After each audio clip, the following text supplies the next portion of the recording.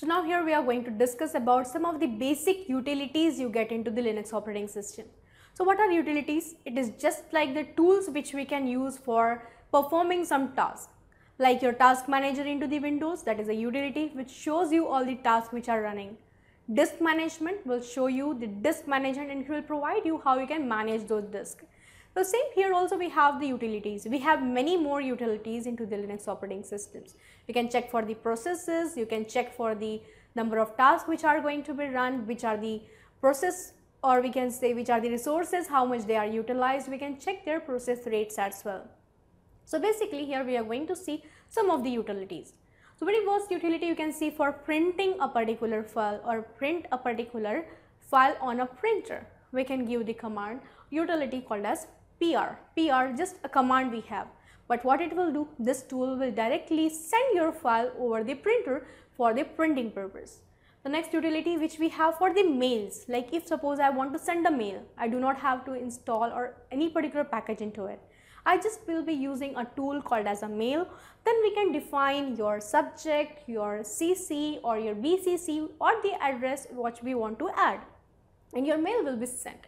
So we do not have to configure any of the mail services, any of the utilities, just we can use those basic tools.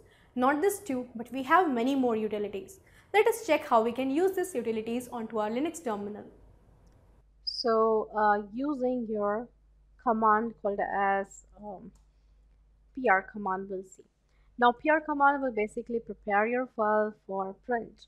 So it generally convert the page or you know any text document into a printable file document. So let us see this uh, command we have like cat numbers which will show you the number of files or you know the number of um, numbers I have added into this file. So these are the numbers I have added. Now if I want that this particular uh, page should have two different columns while printing into the printer. So we can give print hyphen 2 and then we can define the name of the file file too. So I need to check it into more because generally when you use the PR command it basically creates number of columns and you know it displays you the blank page at the end. That's the reason I'll be giving uh, the command we are going to run for your numbers. This file 2 doesn't contain anything. That's the reason it hasn't provided you any output. So a number and more you can see these are the two columns it has created on the page one. So we can also create a page wide printing over here. So it's the same way if I want to print into three different pages or three different columns I can also give the command hyphen 3 so it will print into the three columns over here. So this is about the print command. Same way if I want to uh, mail to someone. So if I want to mail hyphen s command we can define that is for subject. I want to send a test mail. Test mail to which user you want to uh, define. Uh, I'm just going to send the mail to my root which is located at the local host and hit the enter. It will ask you what you want to send like you know what is subject you want to add and what the uh, the whom user you want to send the mail. We need to wait a while until we are getting the options for it.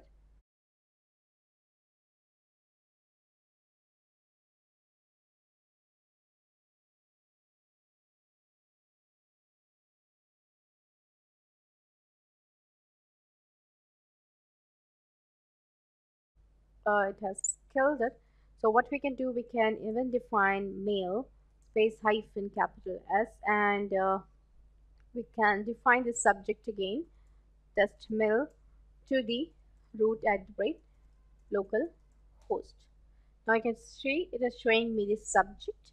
Now I can define the subject as test mail, hit enter. Now if you want to add some body to the mail, this mail is a test mail sent by the trainer user. So I have added any of the you know body text document and then for Saving the file, we can also save the file by Control D. Once you have done, it is showing you end of the terminal and this file has been sent. Now how we are going to check the file? For that first I need to switch the user to the root. So I am going to log in from the root over here into the command line terminal itself. Then I'll define the password of my root. So now I can check I have logged in through the root. And through root, I need to move into directory called as var spool mail. So uh, all users mails are stored under var spool mail itself. Just move into that. Now you will find the different directory of different users. Now this is the trainer user and this is your root user. So I want to check the root's mail because uh, my trainer has sent the mail to the root. So this is a file. So we need to give command cat root and hit enter. Now we'll be able to see this is the trainer has sent you the mail on the date at this particular time and uh, it has sent the message to you which is received by the local host itself. And the mail content was subject was test mail and this was the body of your mail. This mail is test mail sent by the trainer user. So this is how generally you can use the common utilities like mail and uh, you know PR and also we generally have LPR command which we can use to you know uh, send um, file for printing. So we have the local printer access but there is actually no um, okay. So I need to come into my present directory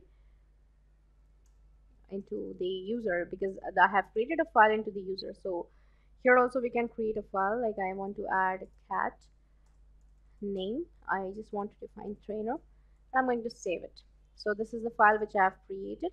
Now if I want to print this file we can also use print that is local printer and the name. Means this particular file I have defined and I have sent for the printing purpose. So uh, we can check into the printer whether this print has been gone to your printer or not. So for that we'll just move into the printers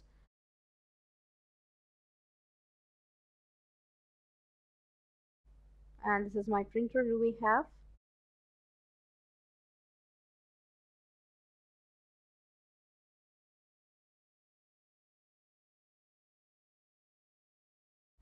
Can check for printer queues.